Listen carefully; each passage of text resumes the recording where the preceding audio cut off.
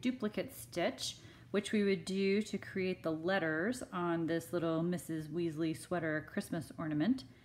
And a duplicate stitch, it's called that because you're duplicating the exact stockinette stitches on your work.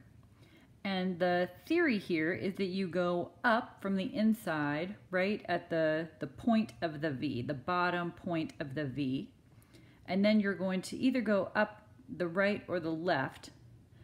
And then from the front, you're going to go back behind the V above that.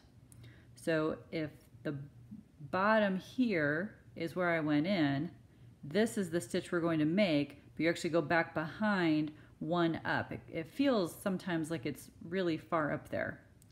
If you're going in a straight line like this, you'll go from the this piece, you'll go from the right on one and then you'll go from the left on the next. If you're going to be going to the right, I'm making an H here. So when I get to the middle section and I'm going to be going across to the right, I would always go left to right and then back down in. So let me show you what I mean.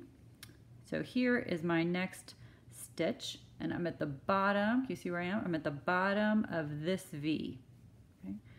So I just pull my yarn up and then this is the stitch that I am going to make next. So it's the stitch all the way above it. I'm going to go behind that one, behind both the legs, pull through. Okay, so that was the first, the right side. And then you go back down into the V.